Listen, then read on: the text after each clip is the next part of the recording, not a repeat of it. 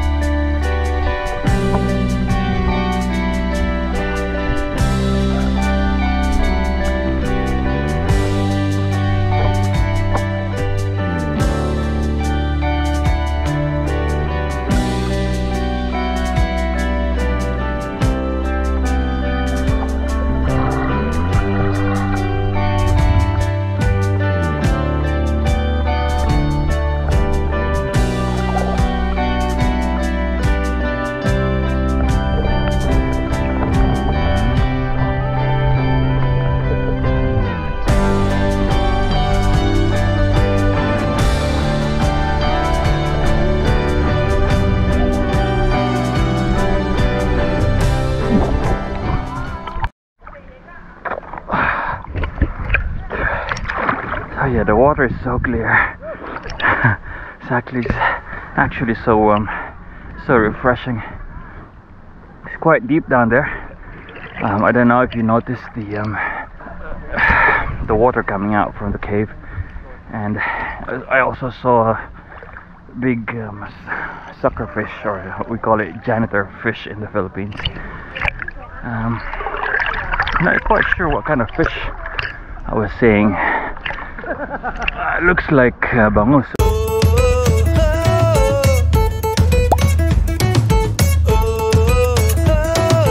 Welcome back to our channel and now we are here at Silver Glen Springs in Ocala, Florida. If you remember the last time we were in uh, Kelly's Park um, Rock Springs, that was about 20 minutes away from um, Orlando, but this area here is about an hour and 15 minutes from Central Florida. From the car park is just a quick walk through the trail and you will see the spring right away.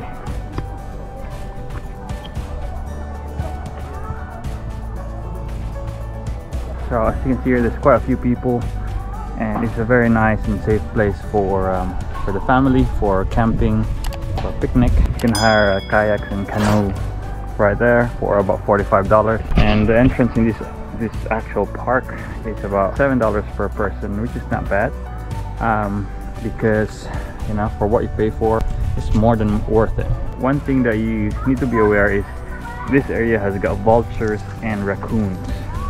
So it's not ideal to bring things um, especially food. Even if you don't have food the raccoons are quite curious. Um, actually a while ago we brought our bag and there was no food in there the, the raccoons actually dragged our bag away and the people were just calling us hey hey your bag is being pulled away by a, by a raccoon. Um, they will end up destroying your uh, your property. So when you come here make sure you bring your uh, snorkeling gear. During this year you can see some manatees um, swimming in the area. So I'll let you see what I'm seeing right now.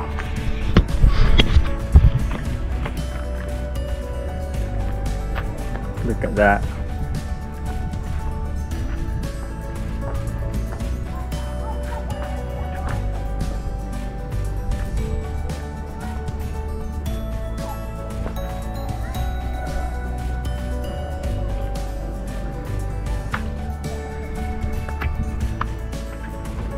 so prohibited no scuba diving no fishing no pets no alcohol um, there you go $7.49 Monday to Friday, $10 during the weekend. Water is so clear. Um, apparently it's safe, but still I don't recommend you swimming here on your own.